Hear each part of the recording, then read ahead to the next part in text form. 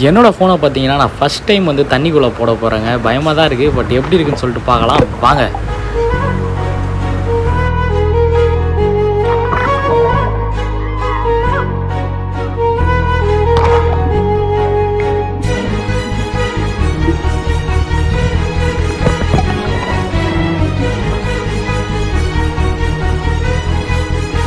Thank you.